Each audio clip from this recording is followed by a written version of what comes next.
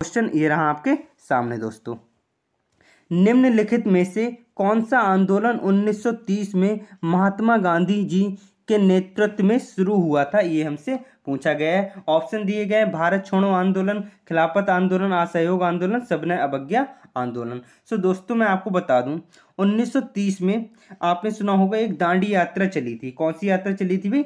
दांडी यात्रा चली थी, जो कि कहाँ से चली थी भाई? दांडी यात्रा कहाँ से कहाँ तक चली थी? दोस्तों, मैं आपको बता दूँ, दांडी यात्रा जो चली थी, वो साबरमती आश्रम से चली थी। कहाँ से चली थी भाई? साबरमती आश्रम से 322 किलोमीटर। कितने भी 322 किलोमीटर, या हम कह सकते हैं 200 मील। कितने भी 200 मील दूर दांडी तक चली थी ये यात्रा। जहाँ पर महात्मा गांधी के नेतृत्व में ये यात्रा चली थी। किसके भी महात्मा गांधी के नेतृत्व में ये यात्रा चली थी, जो कि इसी से, इसी यात्रा से सबने अवज्ञा आंदोलन की शुरुआत हुई थी। जो दांडी यात्रा थी इसी यात्रा से सबने अवज्ञा आंदोलन की शुरुआत हुई थी। और दोस्तों, मैं बता दूँ, ये जो दांडी यात्रा थी, ये सब, साबरमती आश्रम से 322 किलोमीटर अर्थात 200 मील दूर दांडी तक चली थी। और जब ये दांडी तक पहुँच गए थे तो दोस्तों, मैं आपको बता दूँ, ये दांडी तक, ये जो दांडी यात्रा थी, इसमें कितने लोग थे? इसमें थे सेवेंटी नाइन और प्लस एक गांधी जी एक गांधी जी और सेवेंटी नाइन अनुयायियों के साथ, उनासी अनुयायियों के साथ गांधी जी मिलकर पहुँचे थे अस्सी लोगों के साथ। पूरे अस्सी लोग हो गए। तो टोटल जो अगर आपसे पूछ लिया जाता है कभी कभी कि दांडी यात्रा में कितने लोग थे तो वो अस्सी थे, एक गांधी जी थे और उनासी क्या थे भाई? उनके अनुयायी थे।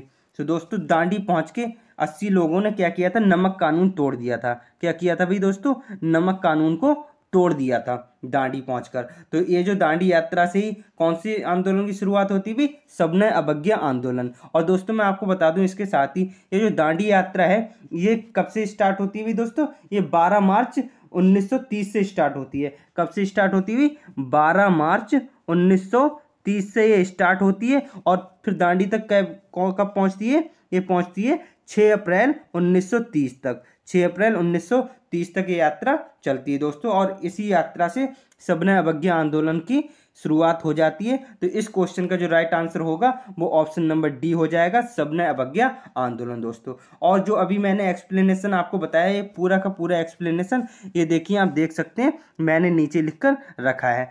अगर आप नहीं सुन पाए अच्छे से तो इसको देख सकते हैं दोस्तों। अब नेक्स्ट क्वेश्चन ये रहा आपके सामने दोस्तों। सो so, दोस्तों आपको पिछले वाले क्वेश्चन का अगर एक्सप्लेनेशन समझ में आया है तो दोस्तों आप क्लास को लाइक कर लीजिएगा अपने दोस्तों के साथ शेयर करिएगा। अगर आपको ऐसा लग रहा है कि हाँ ये क्लास अच्छी है और इससे हमारे परीक्षा के लिए बहुत ही ज़्यादा इंपॉर्टेंट है तो आप इसे लाइक कर सकते हैं शेयर कर सकते हैं और अगर आप चैनल पर नए हैं तो चैनल को सब्सक्राइब भी ज़रूर कर लीजिएगा दोस्तों। ठीक है अब हम इस क्वेश्चन को देखने वाले हैं दोस्तों। संविधान की प्रस्तावना में संविधान संशोधन के द्वारा किन शब्दों को जोड़ा गया? तो संविधान की जो प्रस्तावना है, जिसे हम उद्देश्य का कहते हैं, जिसे हम इंग्लिश में प्री कहते हैं, उसमें संशोधन किया गया। तो दोस्तों, मैं आपको बता दूँ, अब तक अब तक जो प्रस्तावना है, प्रीएम्बल है, उसमें एक बार संशोधन हुआ है। कितनी बार? केवल एक बार संशोधन हुआ है, अब तक। तब से अभी तक संशोधन नहीं हुआ है दोस्तों। सो जो, ये जो संशोधन हुआ था, ये बयालीसवां संविधान संशोधन था। कौन सा था? बयालीसवां संविधान संशोधन था। बयालीसवां कॉन्स्टिट्यूशनल अमेंडमेंट था ये। इसमें क्या हुआ था दोस्तों? प्रस्तावना में ये संशोधन किया गया था। इसमें तीन शब्दों को जोड़ा गया था। कौन कौन से शब्दों को जोड़ा गया था भी दोस्तों? तीन नए शब्दों को। पंथ निरपेक्ष समाजवाद और अखंडता, इन तीन शब्दों को प्रस्तावना में जोड़ दिया गया था। यही संशोधन हुआ था, आप ये समझ लीजिएगा। प्रस्तावना में कितने शब्दों को जोड़ा गया था? पंथनिरपेक्ष, समाजवाद और अखंडता, इन तीनों को जोड़ दिया गया। सो दोस्तों, इस क्वेश्चन का जो राइट आंसर हो जाएगा, वो तो हो जाएगा ऑप्शन नंबर डी ऊपर वाले तीनों। लेकिन मैं इसके साथ ही बता दूँ, ये जो बयालीसवां संविधान संशोधन था दोस्तों, इसे हम लघु संविधान भी कहते हैं। क्या कहते हैं दोस्तों? लघु संविधान भी हम इसे कहते हैं, क्योंकि जो बयालीसवां संविधान संशोधन था, इसमें कई चीज़ें जोड़ी गई। इसके साथ ही दोस्तों, मैं आपको बता दूँ, ये जो बयालीसवां संविधान संशोधन था, इसमें एक नया भाग जोड़ा गया था। कौन सा नया भाग जोड़ा गया था दोस्तों? ये जोड़ा गया था फोर ए। कौन सा? चार ए एक नया भाग जोड़ा गया था और इस बयालीसवा संविधान संशोधन दोस्तों उन्नीस सौ छिहत्तर में हुआ था। कब हुआ था दोस्तों? उन्नीस सौ छिहत्तर में हुआ था। लेकिन ये जो संविधान संशोधन था उन्नीस सौ छिहत्तर में हुआ था, लेकिन ये जो लागू हुआ था, वो हुआ था उन्नीस सौ सतहत्तर में।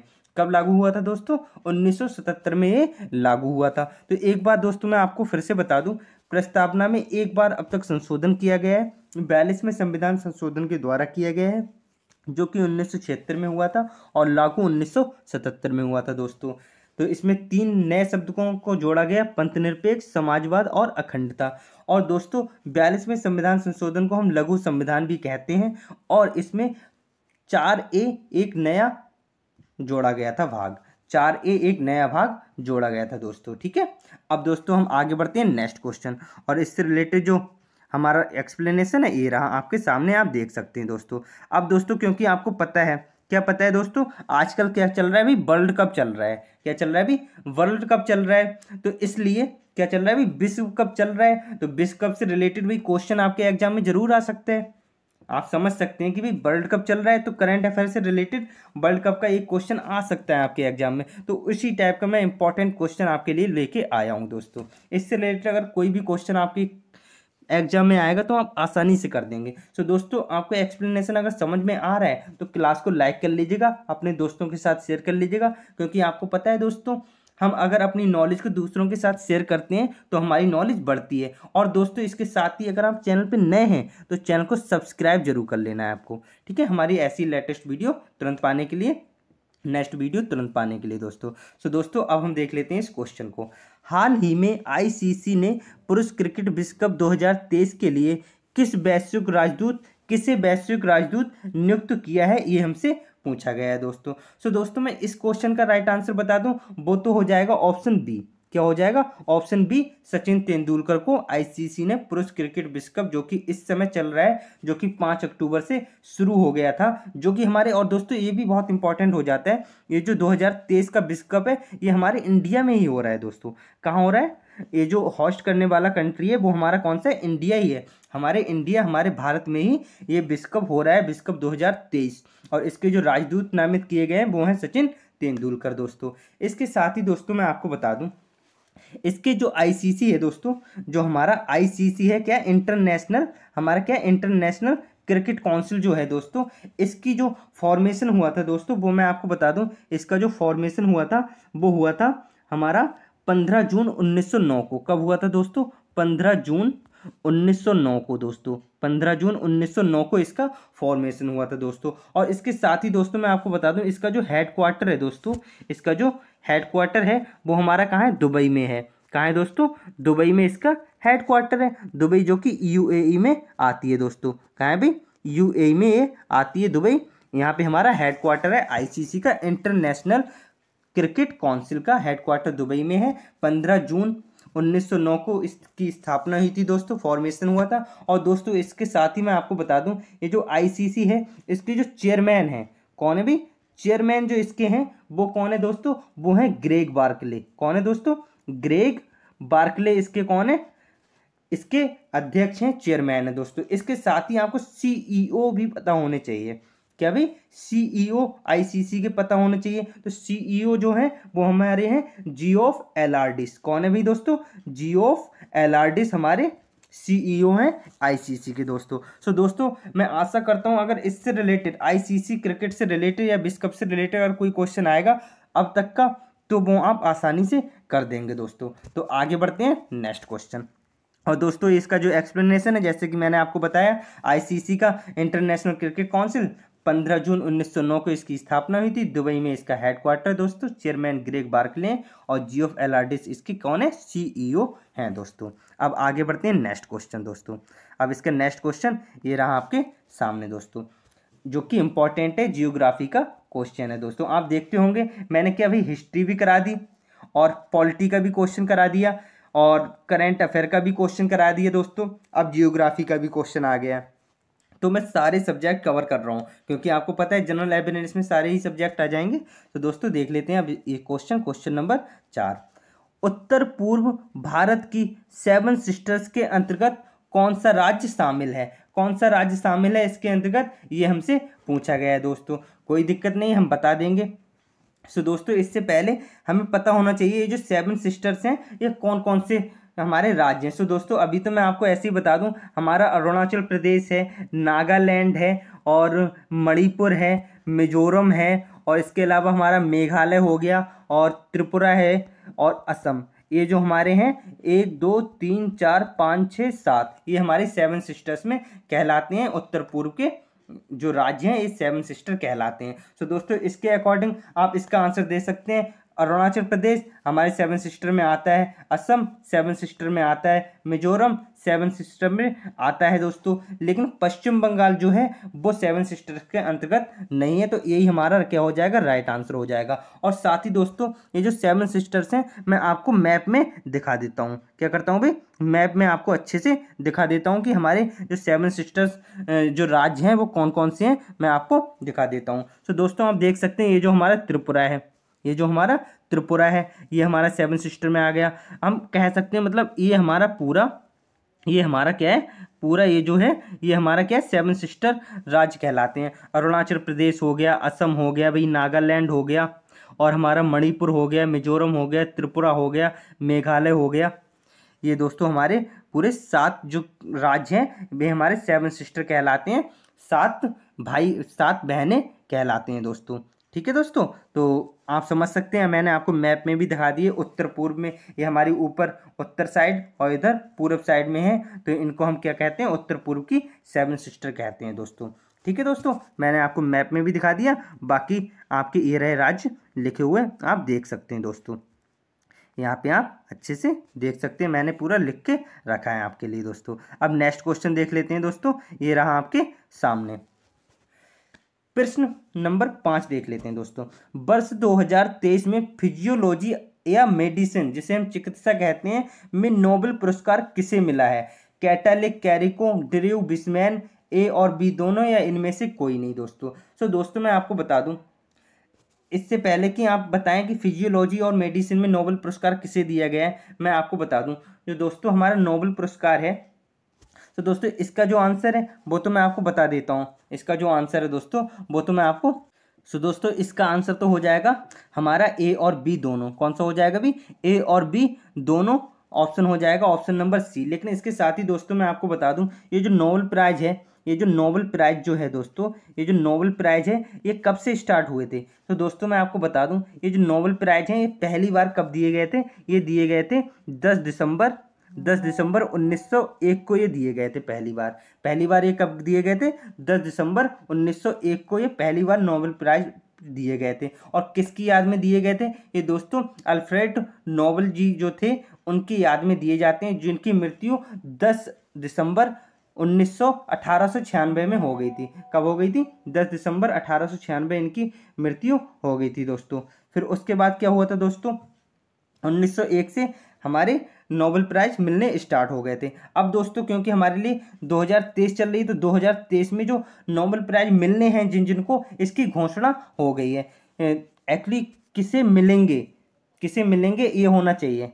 किसे मिलेंगे? सो दोस्तों, इसकी घोषणा हो गई लेकिन 10 दिसंबर को बांटे जाएँगे। और इसके साथ ही, दोस्तों, मैं आपको बता दूँ, ये जो नोबेल प्राइज हैं, इनमें से मैं आपको बता दूँ, फिजिक्स फिजिक्स केमिस्ट्री और हमारी मेडिसिन और हमारा लिटरेचर इसके अलावा दोस्तों मैं आपको बता दूँ इकोनॉमिक इकोनॉमिक साइंस इन पाँचों का जो नोबेल प्राइज मिलता है, ये स्वीडन में मिलता है। कहाँ मिलता है भाई दोस्तों? स्वीडन स्टॉकहोम स्वीडन में ये प्राइज दिए जाते हैं। इसके अलावा जो शांति का पीस जो पीस का है, जो शांति का नोबेल पुरस्कार है, ये नॉर्वे में दिया जाता है। कहाँ दिया जाता है? नॉर्वे में दिया जाता है। सो दोस्तों, ये भी आपके लिए इंपॉर्टेंट हो जाता है। अब दोस्तों, ये नोबल प्राइज जो है, इनको हम ट्रिक से देख लेते हैं। ये इनकी क्या क्या ट्रिक हो सकती है, जिससे कि हम आसानी से याद कर सकें दोस्तों।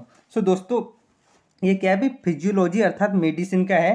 तो ये किस किस को मिला है? कैटालिन कैरिको और डिरू बिस्मैन को मिला है। सो दोस्तों, आपको पता होगा, बिस। जो कि हमारा क्या होता है अभी, हिंदी में जो पॉइजन होता है, हिंदी में जो, इंग्लिश में जो पॉइजन होता है, हम उसको हिंदी में क्या कहते हैं? बिस कहते हैं दोस्तों। क्या कहते हैं? बिस कहते हैं। तो अगर किसी व्यक्ति अर्थात मैन को, अगर किसी मैन को, किसी व्यक्ति को अगर पॉइजन उसने पी लिया है तो उसके लिए हम क्या करेंगे? उसे मेडिसिन देंगे, दवाई देंगे।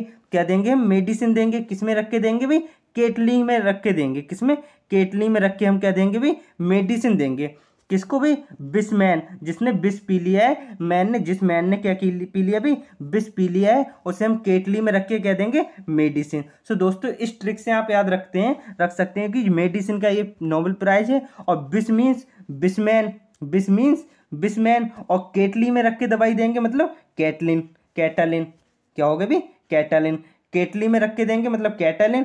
कैटालिन को मिला है और बिस बिस्मैन जिसने बिस पिया है उसे हम दवाई देंगे मेडिसिन में तो ये क्या हो जाएगा? ड्रू बिस्मैन। तो इस ट्रिक से आप दोस्तों आसानी से इसे याद कर सकते हैं और इसे कभी नहीं भूलेंगे। अगर एग्ज़ाम में आ जाएगा तो आप आसानी से कर देंगे दोस्तों। अब इसके अलावा हम और भी जो नोबल प्राइज दिए गए हैं वो हम सब देख लेते हैं दोस्तों एक बार। सो so, दोस्तों ये आ गया फिजिक्स का। तो फिजिक्स का हम कैसे याद करेंगे दोस्तों? फिजिक्स का आप ऐसे याद कर सकते हैं कि भाई फिजिक्स स्पीकर फिजिक्स स्पीकर आप इस टाइप से याद कर सकते हैं दोस्तों। फिजिक्स पीकर फिजिक्स पीकर फेरे लिए, फिजिक्स पीकर फेरे लिए एनी ने, फेरे लिए एनी ने। किसने भी? फिजिक्स पीकर, उसने क्या किया भी? फिजिक्स को पी गया। फिजिक्स को पी गया और फिर फेरे लिए एनी ने। एनी जो थी, उसने पीकर फेरे ले लिए। क्या कर लिया भी? फिजिक्स पीकर फेरे ले लिए तो इस टाइप से आप इस ट्रिक से याद रख सकते हैं। फिजिक्स में जो नोबल प्राइज मिला है, वो किसे मिला है? पीरे एगोस्टिनी को मिला है और फेरे से फेरेंक क्रॉच को मिला है और एनी से एनी एल हीलियर को मिला है। तो इससे दोस्तों आप आसानी से याद रख सकते हैं। फिजिक्स स्पीकर फेरे लिए एनी ने। फिजिक्स स्पीकर फेरे लिए एनी ने इस ट्रिक से आप फिजिक्स का नोबल प्राइज आसानी से याद कर सकते हैं दोस्तों। अब इसके बाद हम देख लेते हैं केमिस्ट्री का। केमिस्ट्री का हम कैसे याद करेंगे, ये भी मैं बता देता हूँ दोस्तों। तो केमिस्ट्री का हम याद करेंगे कैसे भी? एलेक्सी हम इस टाइप से याद करेंगे। एलेक्सी रसीली महँगी लाई एलेक्सी ने क्या किया? एलेक्सी रसीली महँगी लाई क्या भी? रसीली महँगी लाई जो एलेक्सी है, वो क्या है? एलेक्सी एक लड़की है, उसने वो क्या? रसीली मैगी लाई। क्या लाई भाई दोस्तों? रसीली मैगी लाई। सो दोस्तों, आप इससे याद कर सकते हैं, एलेक्सी केमिस्ट्री में रसीली मैगी लाई थी। एलेक्सी जो है, वो रसीली मैगी लाई। तो केमिस्ट्री की जो नोबल प्राइज प्राप्तकर्ता जो हैं, उनके नाम क्या है? एलेक्सी से आप याद रख सकते हैं एलेक्सी आई एलेक्सी आई इकीमो। और दूसरा, रसीली से आप याद कर सकते हैं, लुइस। रसीली से आप लुइस याद कर सकते हैं, मैगी से और मोंगी। मैगी से मोंगी जी, बबेंडी, इसको याद रख सकते हैं दोस्तों। तो आसानी से आप याद कर सकते हैं दोस्तों। एलेक्सी क्या लाई? एलेक्सी रसीली मैगी लाई दोस्तों। एलेक्सी क्या लाई? रसीली मैगी लाई। तो इससे आप केमिस्ट्री के आसानी से याद कर सकते हैं दोस्तों। इसके बाद आते हैं भी मेडिसिन के। मेडिसिन के मैंने आपको बता दिया। और कोई व्यक्ति किसी व्यक्ति ने क्या पी लिया है? विष पी लिया है दोस्तों। तो उसके लिए क्या दी जाती है? मेडिसिन दी जाती है। और मेडिसिन जो हम देंगे, वो किसमें रख के देंगे भी केटली में रख के देंगे। तो इससे कैटलिन, कैरिको और ड्रू बिस्मैन हो गए मेडिसिन वाले दोस्तों, चिकित्सा वाले हो गए। अब दोस्तों, लिटरेचर अर्थात शांति वाला हम देख लेते हैं। साहित्य वाला देख लेते हैं कि साहित्य का जॉन फोसी को मिला है। ये हम कैसे याद करेंगे दोस्तों? सो दोस्तों, सत्य सत्य अगर नहीं बोलोगे तो जान फंस जाएगी। अगर सत्य नहीं बोलोगे तो आपकी जान फंस जाएगी। या आप ये कह सकते हो, साहित्य साहित्य में जान फंस गई। क्या है भाई साहित्य में जान फंस गई। साहित्य में जान फंस गई। तो इससे जॉन फोसी, साहित्य में जॉन फोसी मतलब साहित्य में जान फंस गई। इससे आप याद रख सकते हैं, साहित्य में जो मिला है, वो जॉन फोसी को मिला है, दोस्तों। ठीक है दोस्तों, अब देख लेते हैं शांति में। अब शांति हम कैसे याद करेंगे? शांति शांति का नरगेश मोहम्मदी को मिला है। ये जो लेडी है, नरगेश मोहम्मदी, इनको मिला है। तो ये कैसे याद करेंगे? हम करेंगे नरगिस को शांति मिली। नरगिस को शांति मिली भाई। नरगिस को क्या मिली भाई? नरगिस को क्या मिल गई भाई? शांति मिल गई। नरगिस को शांति मिल गई। इससे हम याद रख सकते हैं कि शांति में नरगिस मोहम्मदी को नोबेल पुरस्कार मिला है दोस्तों। अब इसके बाद आता है इकोनॉमिक साइंस का। तो ये तो दोस्तों याद करना बहुत ही आसान हो जाता है। कैसे? दोस्तों, आपको पता है जो इकोनॉमी होता है, जो हमारा अर्थशास्त्र होता है, वो कैसे पैसों से लेन देन पैसों वाली मतलब कहीं ना कहीं सब्जेक्ट होता है, पैसों का मैनेजमेंट कैसे किया जाता है, ये होता है गोल्ड सिल्वर, सब कुछ डायमंड वाला, ये सब पैसे वाली चीज़ें, महँगी महँगी चीज़ें तो ये सब महँगी महँगी चीज़ों को मैनेज करना किसके अंतर्गत आता है? भी अर्थशास्त्र अर्थात इकोनॉमिक के अंतर्गत आता है। तो ये गोल्ड से आप याद रख सकते हैं। भाई गोल्ड की बात आ रही है तो ये तो भाई इकोनॉमी से रिलेटेड बात है भाई क्या भी अगर गोल्ड वाली बात आ रही है तो ये इकोनॉमी से रिलेटेड बात है दोस्तों। तो इकोनॉमिक्स का आप इससे याद कर सकते हैं गोल्डिन गोल्ड से इकोनॉमी आपको याद आनी चाहिए क्लॉडी क्लॉडिया गोल्डिन इस टाइप से आप याद कर सकते हैं दोस्तों। अब बढ़ते हैं हम आगे दोस्तों। अब आगे बढ़ते हैं नेक्स्ट क्वेश्चन देख लेते हैं दोस्तों। ये रहा आपके सामने दोस्तों। इसका नेक्स्ट ऑप्शन हमें नहीं दिख रहा है, वो भी हम थोड़ा सा छोटा करके देख लेते हैं दोस्तों। ये रहा आपके सामने। निम्नलिखित में से कौन सी नृत्य शैली दक्षिण भारत से संबंधित नहीं है, ये हमसे पूछा गया है दोस्तों।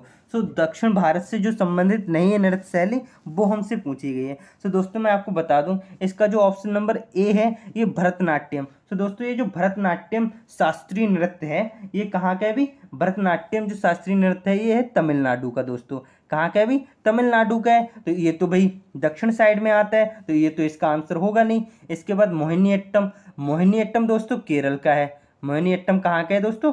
केरल का है और कथकली जो ऑप्शन डी में दिया है, ये भी केरल का है। मोहिनी अट्टम और केरल, मोहिनी अट्टम और कथकली जो है, ये दोनों केरल के हैं। और जो कथक है दोस्तों, ये हमारे उत्तर भारत का है। कहाँ का है भी उत्तर भारत का ये हमारा नृत्य है, शास्त्रीय नृत्य है उत्तर भारत का कथक। सो दोस्तों, इसका जो राइट आंसर हो जाएगा, वो तो ये हो जाएगा।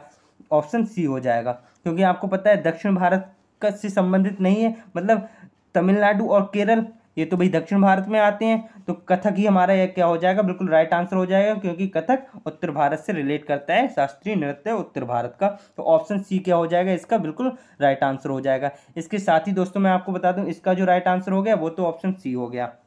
इसके साथ ही दोस्तों, ये जो सत्रिय है, जो हमारा सत्रिय नृत्य है, वो असम से बिलोंग करता है। सत्रिय असम से बिलोंग करता है, जो कुचिपुड़ी है दोस्तों, वो हमारा आंध्र प्रदेश से बिलोंग करता है। और दोस्तों, जो छऊ है छऊ है, वो हमारा झारखंड से बिलोंग करता है। सो दोस्तों, ये भी आपको पता होना चाहिए। अब देख लेते हैं दोस्तों, इससे रिलेटेड जो एक्सप्लेनेशन है, ये रहा आपके सामने। अब दोस्तों नेक्स्ट क्वेश्चन देख लेते हैं। अब क्या देख लेते हैं दोस्तों? नेक्स्ट क्वेश्चन देख लेते हैं, जो कि आपके लिए इंपॉर्टेंट होने वाला है। सो दोस्तों नेक्स्ट क्वेश्चन को देखने से पहले मैं आपसे एक बात कह दूँ कि अगर आपको क्लास पसंद आ रही है तो क्लास को लाइक कर लीजिएगा, अपने दोस्तों के साथ शेयर करिए, और अगर आप चैनल पर नए हैं तो चैनल को सब्सक्राइब ज़रूर करिएगा। ठीक है दोस्तों, अब देख लेते हैं ये क्वेश्चन। 108वीं भारतीय विज्ञान कांग्रेस का आयोजन कहाँ हुआ?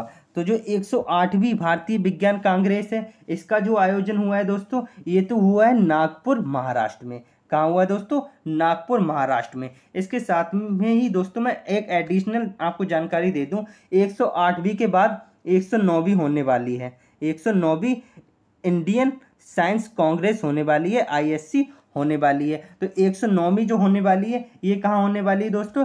ये लवली यूनिवर्सिटी, आपने सुना होगा, लवली प्रोफेशनल यूनिवर्सिटी, जो कि पंजाब में है। जो कि कहाँ है भी दोस्तों? पंजाब में है। तो ये एक सौ नौवा जो इंडियन साइंस कांग्रेस जो होने वाली है, भारतीय विज्ञान कांग्रेस जो 109 नंबर की होने वाली है, वो होने वाली है लवली प्रोफेशनल यूनिवर्सिटी पंजाब में होने वाली है दोस्तों। ये भी आपको याद रखना है। तो दोस्तों, अब आगे बढ़ते हैं नेक्स्ट क्वेश्चन। ठीक है दोस्तों, ये रहा आपके सामने दोस्तों। चीनी विद्वान हैन ने किस स्थान पर बौद्ध धर्म ग्रंथों का अध्ययन किया दोस्तों ये क्वेश्चन है। बहुत अच्छा क्वेश्चन है दोस्तों। सो so, दोस्तों इसका तो डायरेक्ट मैं आपको आंसर बता दूँ। जो चीनी विद्वान हैंसोंग जो थे ये दोस्तों मैं आपको बता दूँ हर्षवर्धन के शासनकाल में आए थे। किसके शासनकाल में आए थे? हर्षवर्धन के शासनकाल में आए थे। तो जो चीनी विद्वान जो हैंसोंग थे, वो दोस्तों हर्षवर्धन के शासनकाल में आए थे, लेकिन ये कब आए थे? तो दोस्तों मैं आपको बता दूँ, ये पंद्रह वर्षों वर्षों तक हमारे देश में रहते कितने वर्षों तक रहते दोस्तों? पंद्रह वर्षों तक ये हमारे देश में रहते कितने वर्षों तक भाई? पंद्रह वर्षों तक हमारे देश में रहते लेकिन ये कब आए थे? ये आए थे छः सौ उनतीस ईस्वी में। कब आए थे? छः सौ उनतीस ईस्वी में आए थे हमारे भारत में और पंद्रह वर्षों तक रहे थे। और इन्होंने एक अपना अपना क्या लिखा है भी यात्रा वृतांत लिखा है। पूरा, पूरी जानकारी दी है अपनी यात्रा की। वो जो ग्रंथ है, वो क्या है? सी यू के क्या है भाई दोस्तों? सी यू की सी यू की नाम का एक इनका यात्रा वृतांत है। उसमें इन्होंने सब कुछ अपनी यात्रा भ्रमण लिखा है। यात्रा का पूरा भ्रमण लिखा हुआ है दोस्तों। और दोस्तों, इन्होंने बौद्ध ग्रंथों का जो अध्ययन किया था, वो किया था विजयवाड़ा में दोस्तों। तो इसका जो राइट आंसर हो जाएगा ऑप्शन डी हो जाएगा। तो ये हर्षवर्धन के शासनकाल में छः सौ उनतीस ईस्वी में आए थे और उन्होंने बौद्ध धर्म ग्रंथों का अध्ययन किया था विजयवाड़ा में। दोस्तों, और क्या हुआ था भाई ये पंद्रह वर्षों तक हमारे देश में रहे थे। फिर अब आगे बढ़ते हैं दोस्तों, इससे रिलेटेड जो एक्सप्लेनेशन है, ये रहा आपके सामने। अब दोस्तों देख लेते हैं क्वेश्चन नंबर नौ। सो दोस्तों, इसके सारे ऑप्शंस देखने के लिए हम क्या कर लेंगे? थोड़ा सा क्वेश्चन को छोटा कर लिया हमने। क्या कर लिया भाई दोस्तों? क्वेश्चन को थोड़ा छोटा कर लिया। अब देख लेते हैं हम दोस्तों। तो निम्नलिखित में से कौन सा तत्व बेकिंग पाउडर के रासायनिक संगठन में नहीं होता है? ये हमसे क्या पूछा भी नहीं होता है, ये हमसे पूछा गया है दोस्तों। तो दोस्तों, मैं आपको बता दूँ, ये जो बेकिंग पाउडर होता है, इसका जो हमारा रासायनिक फॉर्मूला होता है, वो क्या होता है भी दोस्तों? एन ए एच क्योंकि हमसे पूछा है कौन सा रासायनिक संगठन इसमें शामिल नहीं है, कार्बन, नाइट्रोजन, हाइड्रोजन या सोडियम में से। तो दोस्तों, इसके लिए हमें फॉर्मूला पता होना चाहिए इसका केमिकल। तो वो होता है सोडियम हाइड्रोकार्बोनेट। क्या होता है दोस्तों? Sodium hydrocarbonate N H C O three यही तो होता है दोस्तों। तो हम इसमें देख सकते हैं, ये जो एन ए ये तो हमारा सोडियम हो गया। ये क्या हो गया दोस्तों? सोडियम हो गया। और हमसे पूछा जो नहीं है तो सोडियम तो ऑप्शन हो नहीं सकता, क्योंकि ये तो है। और ये हाइड्रोजन हो गया दोस्तों। तो ये भी हमारा है, और सोडियम भी है हाइड्रोजन भी है। इसके अलावा दोस्तों कार्बोनेट यानी कार्बन भी है। लेकिन नाइट्रोजन नहीं है तो नाइट्रोजन ही हमारा क्या हो जाएगा? बिल्कुल राइट आंसर हो जाएगा इस क्वेश्चन का दोस्तों। ठीक है दोस्तों? तो आगे बढ़ते हैं। नेक्स्ट क्वेश्चन नेक्स्ट क्वेश्चन जो दोस्तों है, वो ये रहा आपके सामने दोस्तों। नेक्स्ट क्वेश्चन ये रहा आपके सामने दोस्तों। फरीद खान को किस वर्ष शेर शाह की उपाधि से सम्मानित किया गया था? तो जो फरीद खान थे, उनको किस वर्ष शेर शाह की उपाधि से सम्मानित किया गया था, ये हमसे पूछा गया सो दोस्तों, मैं आपको बता दूँ, ये जो फरीद खान जो हैं, ये जो फरीद खान जो हुआ करते थे, इन्होंने क्या किया था? चौसा का युद्ध लड़ा था। कौन सा? एक चौसा का युद्ध लड़ा था। किसके साथ लड़ा था भी दोस्तों? ये चौसा का युद्ध 26 जून कब हुआ था भी दोस्तों? 26 जून पंद्रह को हुआ था। कब हुआ था? 26 जून पंद्रह को हुआ था। किसके साथ? हुमायूं के साथ हुआ था दोस्तों। किसके साथ? हुमायूं के साथ ये हमारा हुआ था युद्ध तो इसमें क्या हुआ था? ये फरीद खान जो थे, इन्होंने हुमायूं को हरा दिया, और जब हुमायूं को हरा दिया तो ये फरीद खान विजय प्राप्त हो गए। जब विजय प्राप्त हो गए तो इस खुशी में इन्होंने शेर शाह की उपाधि को धारण कर लिया, और इसे इससे इन्हें सम्मानित किया गया था। तो कब किया गया था? छब्बीस जून पंद्रह के युद्ध से, अर्थात पंद्रह में इन्हें शेर शाह की उपाधि से सम्मानित किया गया था तो ऑप्शन डी क्या हो जाएगा? बिल्कुल राइट आंसर हो जाएगा इस क्वेश्चन का दोस्तों। और इससे रिलेटेड जो एक्सप्लेनेशन है वो दोस्तों, ये रहा आपके सामने। सो दोस्तों, एक बार मैं आपसे ये बात फिर से कहना चाहूँगा कि अगर आपको वीडियो अच्छी लगी है क्लास अच्छी लगी है तो आपको क्या करना है? क्लास को करना है लाइक और अगर आपको अच्छी लगी है तो अपने दोस्तों के साथ भी शेयर करना चाहिए, क्योंकि आपको पता है, भाई दोस्तों के साथ शेयर करने से हमारी नॉलेज क्या बढ़ती है? हमारी नॉलेज बढ़ती है। और दोस्तों, इसके साथ ही अगर आप चैनल पर नए हैं तो आपको क्या करना है भी चैनल क्या कर लेना भी सब्सक्राइब कर लेना है। सबसे पहले आपको क्या करना है? चैनल को सब्सक्राइब करना है अगर आप चैनल पे नए हैं तो। क्योंकि अगर आप सब्सक्राइब कर लेंगे तो हमारी सारी वीडियो आपके पास तुरंत पहुँच जाएँगी और आप उसको देख के अपनी तैयारी को और बेहतर कर पाएँगे दोस्तों। सो दोस्तों थैंक यू